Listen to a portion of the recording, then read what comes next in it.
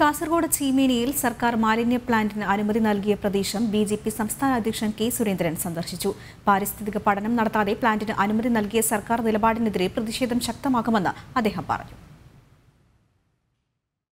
ചെറുതും വലുതുമായി ആറോളം കാവുകളും അപൂർവ ജീവജാലങ്ങളുമുള്ള പരിസ്ഥിതി പ്രദേശത്താണ് മാലിന്യ പ്ലാന്റ് നിർമ്മിക്കാൻ സർക്കാർ അനുമതി നൽകിയിരിക്കുന്നത്. ഇതിനെതിരെ മാസങ്ങളായി ജനകീയ പ്രതിഷേധം നടക്കുകയാണ്. കൃത്യമായ പാരിസ്ഥിതിക പഠനം നടത്താതെ മാലിന്യ സംസ്കരണ പ്ലാന്റിന് അനുമതി നൽകിയ സർക്കാർ നിലപാടിനെതിരായി പ്രതിഷേധം ശക്തമാക്കുമെന്ന് കെ സുരേന്ദ്രൻ വ്യക്തമാക്കി.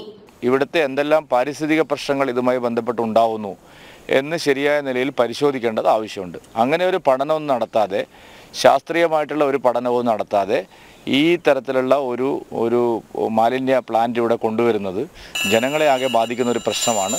ഇവിടുത്തെ ജൈവസമ്പന്നതയും ആധ്യാത്മിക സ്രോതസ്സുകളെയും സംരക്ഷിച്ചുകൊണ്ടുള്ള ഒരു നിലപാടിന് മാത്രമേ സർക്കാരിന് കൂട്ടുനിൽക്കാൻ കഴിയുള്ളൂ. അതുകൊണ്ട് അതിനെതിരായിട്ടുള്ള ഒരു നിലപാട് സർക്കാർ എടുക്കുകയാണെങ്കിൽ ഇവിടുത്തെ ജനങ്ങൾ വളരെയധികം ഇതിൽ പ്രതിഷേധിക്കുകയാണ്.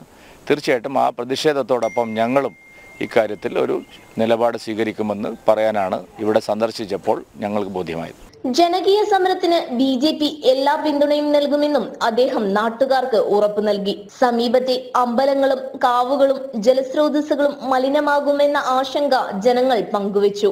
തീരുമാനം പിൻവലിക്കുന്നതുവരെ പ്രതിഷേധ പരിപാടികളുമായി മുന്നോട്ടു പോകാനാണ് ജനകീയ സമരസമിതിയുടെ തീരുമാനം. ജനം കാസർഗോഡ്.